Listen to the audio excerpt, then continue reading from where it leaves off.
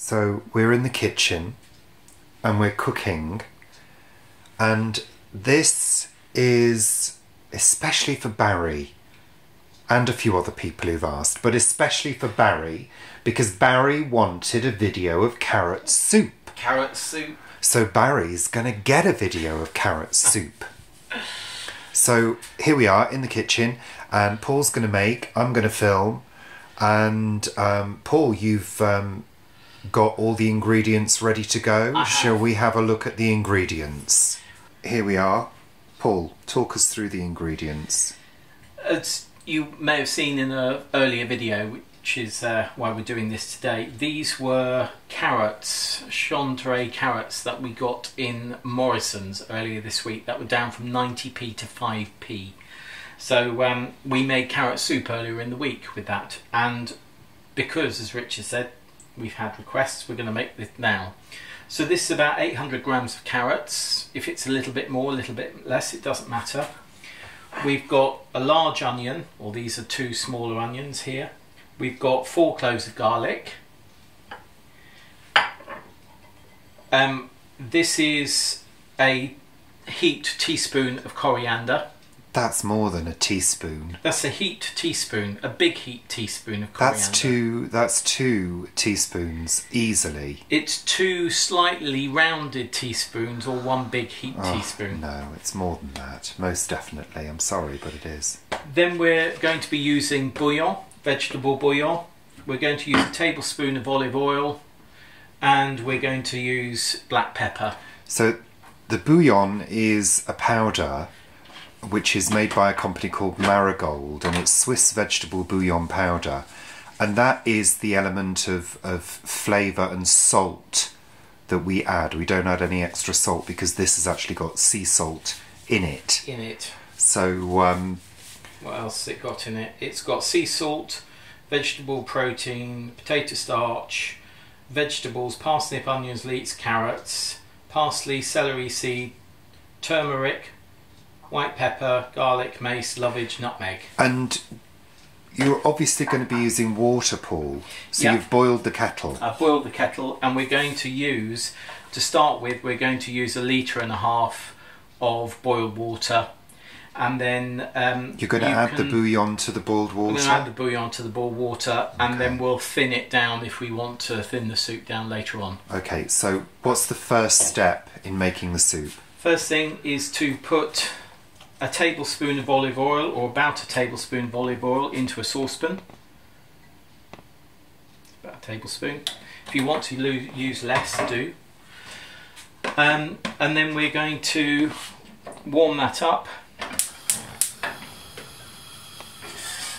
You don't want it on too high a heat. There is actually a bit of water in here, so some steam may come off here. That's why it's crackling. That's because why you've got a bit of water in water in there. Never really mix hot oil and water, folks. particularly in quantities. And then we're going to um, turn this down and put the onions and the garlic in.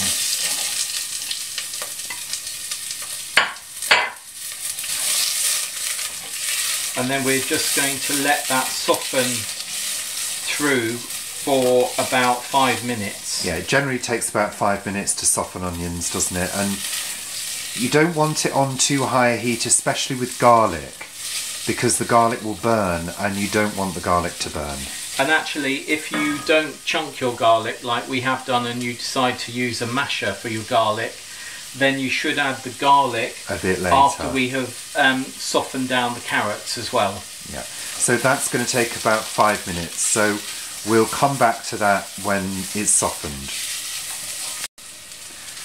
So it's been about five minutes, Paul, and um, they've actually started to colour a little bit, haven't they? Yeah, coloured a little bit. This front ring is slightly fiercer Yeah, it's quite a fierce ring. ring, isn't it? Yeah. Um, but that's fine. Uh, they haven't browned. And it's you know if they well they have browned a little bit. Sorry, they haven't. They haven't gone They like haven't crispy brown. burnt, but I mean a little bit of colour on your uh, onions is okay, but your garlic can get a little bitter. But Yeah. hey ho, c'est la vie. In goes the um, ground coriander. So coriander, Oh, a bit went at the back there. and then we're just gonna let those or that spice, not those spices, that spice heat through a little bit. Yeah, and you, you should always cook your spice for approximately two minutes. Um, when you're doing a curry or you're doing anything spicy, about two minutes is the normal accepted um, time. I mean, Paul's using a rubber spatula here. Silicon. Yeah, silicon. Um, it's not ideal if you're frying spices. Really, a, a metal spoon would probably be better to get anything that's sticking on the bottom of the pan. So Richard doesn't like these spatulas. I adore them. I think they're fine for certain things, but not for frying spices because I can see that it's sticking to the bottom there, Paul. Well, that's fine. Well, it is because the liquid will then pick it up. Yeah. So I'm actually going to add the black pepper now. Because pepper is a spice. I'll Good put- few, a good few. Yeah. I think this is the thing when you look at chefs, they, they work on such a average um, audience taste bud that that you get or put a teaspoon in Do you want a to show teaspoon. um, the viewers what's going on in the pan? Yeah. So there you go. You've got your coriander and your onion and your black pepper just frying off there. I think that's about it, isn't Yeah. it, for that? And now we're going to add the carrots. So all the carrots are going in carefully. Lovely colour. I mean, they were such a bargain, those Oh, carrots. it's ridiculous. I just can't believe they. I, I don't know how Morrison's do that. Well, it's all supermarkets. I know, but- Morrison's. 5p? Really? But it's better that they sell them well, yeah, I know. than it goes to to landfill. I think in Amer- in France, don't they? You're not allowed to. Supermarkets aren't allowed to send anything away. Well, good. As usual, Britain lags behind. What I'm going to do um, is let this soften down, but I'm just adding a couple of tablespoons of water now, hot water, and then we're going to put the lid on, and that'll let it steam. And also, and also, it will stop anything sticking to the bottom of the pan. Okay, And you just, how long are you going to leave those for just going to leave it for another five minutes, and then we'll add the rest of the liquid. Okay, and why do you do that? I don't know, it's what Mum taught me. Mum always used to do that, and that's what I've always done. Okay. I think it helps. Um, one of the problems, I think, particularly with onions, is that if you don't cook them out, they do have a raw taste, even when they're fully cooked in a soup. But anyway, we're going to leave that for five minutes on a low heat, let it simmer, and then we'll be back. Okay. Okay, so it's been about five minutes or so. Yeah, You can see the carrots are steaming away there. and they've slightly, they've gone slightly paler. Yeah. Um, all that onion is soft. There's a little bit of give in the carrots now. So I've made up the stock. So I've added the bouillon powder to a litre, How much bouillon powder? tablespoon of bouillon powder to a litre and a half of water I put in. So that's probably slightly more than they recommend, isn't it? Because they Um, recommend a teaspoon to a pint, don't they? Or half a pint, No, it's four teaspoons to a litre they recommend. is it? So it's Yeah. probably slightly more. and this is the the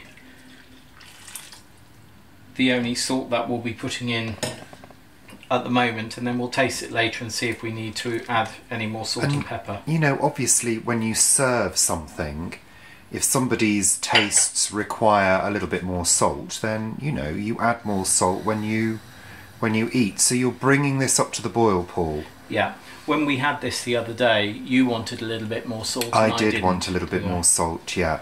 um, but I didn't so it's better to undersalt something than oversalt something Yeah, because you can't take the salt away, people. However, if you do oversalt something, if you put in a peeled potato, the potato will actually take up some of the salt, and then you can discard the potato afterwards. Yeah, But but, that's but don't oversalt. That's Yeah. the the best thing. I always learnt in cookery when I did my O level that you know you can't remove salt. Full stop. So never make that mistake. And when I didn't do my cookery lessons, I Oh, learned wow. to apron level of my mum's apron that you shouldn't oversalt. Yeah. So this is now coming up to the boil. Um, we're going to turn it down to a simmer and just let it simmer for 15 minutes now. Okay. Great. And by the way, that's simmering it with the lid on. So it's been approximately 15 minutes, and as you can see, it's all boiling away. And you check to see see. you check to see that they're cooked. Yeah, and you can Well see that you can cooked. cook, cut right through it. So the next stage is to actually liquidize this. Now, if you've not got a liquidizer, um, you can use a Hand blitzer. hand blender.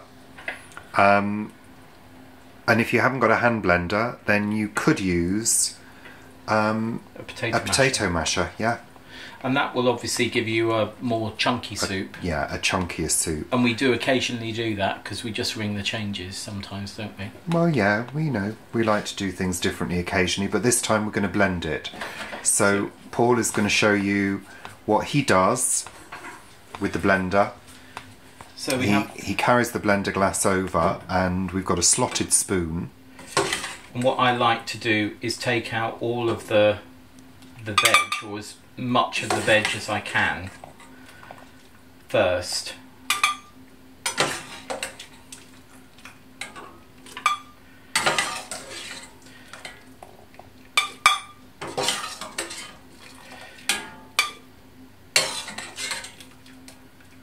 Not all of it doesn't need to, all your onions and stuff doesn't need to. But what I find is that I like making sure that all of the the bigger chunks of whatever vegetable, sorry about the banging, whatever vegetable soup we're making, um, gets blitzed first. And now what I'm going to do is add some of this liquid to the top of the vegetables here, and then after we've blitzed, I'll then blitz the the rest of the liquid on its own and put this into a bowl.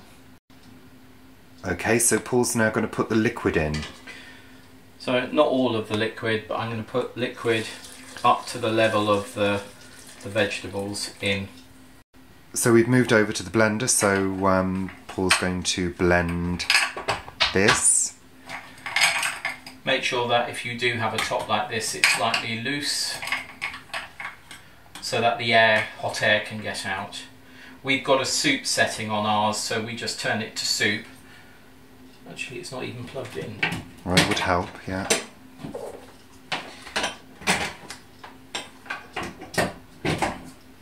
Yeah, so we got a soup setting on ours, so we just press auto, and it, for us it does it.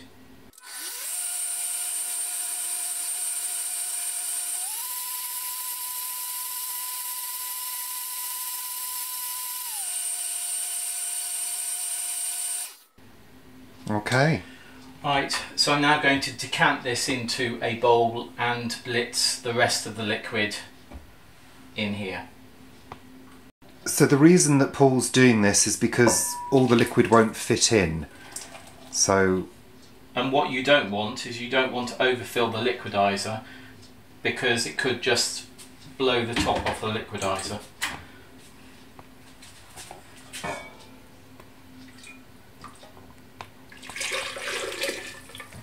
So that's the remainder of the liquid going into the liquidizer back on. just to finish that final little bit.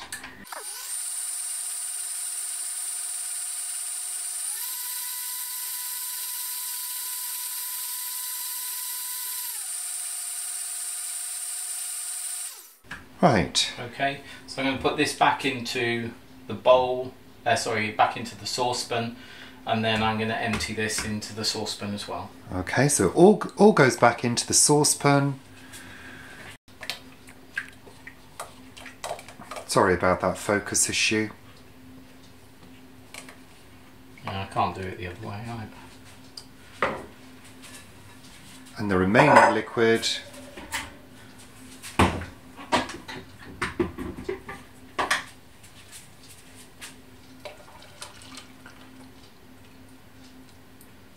we stir that in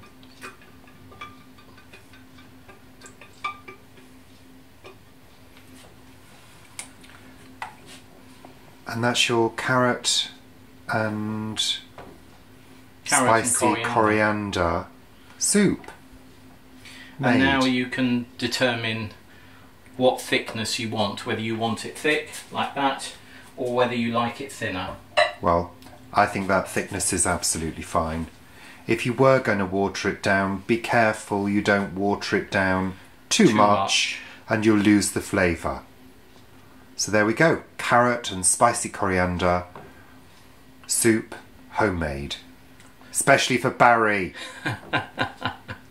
okay, thanks for watching, guys, and we'll see you again very soon for more cookery adventures. Bye for now.